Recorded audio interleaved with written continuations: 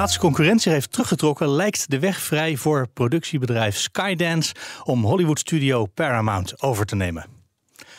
Dat meldt in elk geval persbureau Reuters. En Paramount is bekend van films als Titanic en Indiana Jones.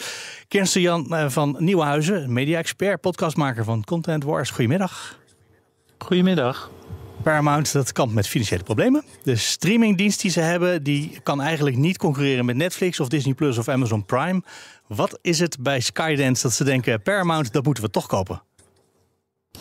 Ja, nou ja, ik denk dat uh, Skydance uh, het leuk vindt om uh, een wat groter oud mediabedrijf te ownen. En achter Skydance zit een hele rijke miljardair die ooit Oracle heeft opgericht. En die heeft al wat miljarden over.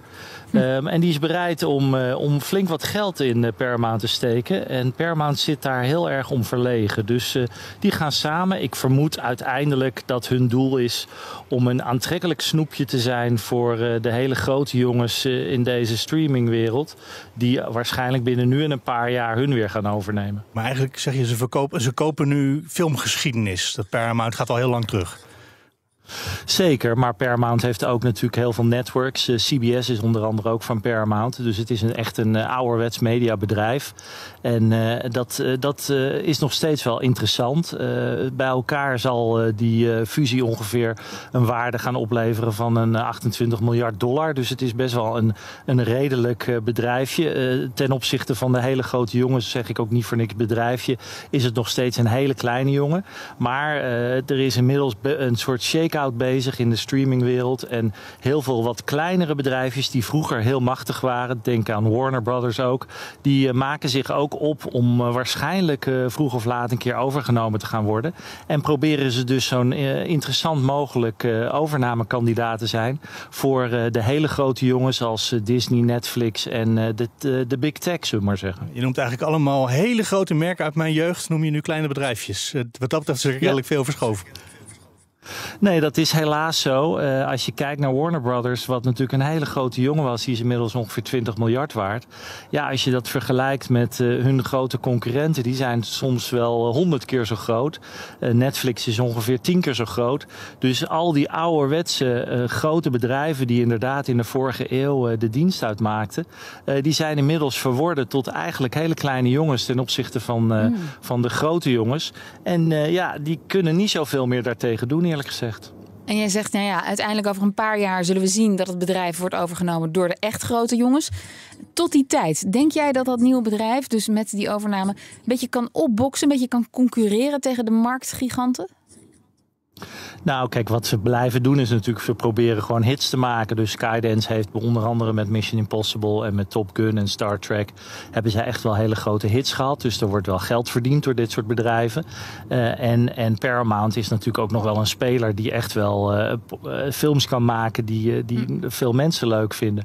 Dus er wordt gewoon geld verdiend bij die bedrijven. Maar ze hebben het natuurlijk ten opzichte van die grote jongens wel heel zwaar. Ze zullen uiteindelijk, zullen ze waarschijnlijk gewoon niet anders kunnen doen dan, uh, dan overgenomen worden. Want Paramount kampt al heel lang met tegenvallende resultaten. En aandelen worden ook steeds minder waard.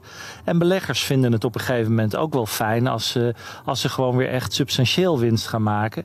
Uh, dus ze zien ook dat uh, veel beleggers op dit moment lastig vinden om heel veel geld in hun te steken. geld is ook duurder geworden natuurlijk het laatste jaar. En dus gaan ze maar liever fuseren met een bedrijf die geld meeneemt. En waarvan waarvan ze ook hopen dat ze gezamenlijk nog wat kosten kunnen besparen. Ja, je noemde net al de shakeout die gaande is. Waar, waar zit die verder nog in? Waar komt die vandaan? Nou, op het moment zie je dat heel veel streamingbedrijven uh, het veel uh, lastiger hebben om geld op te halen. Uh, twee, drie, vier jaar geleden was dat een stuk makkelijker tijdens en vlak na de corona.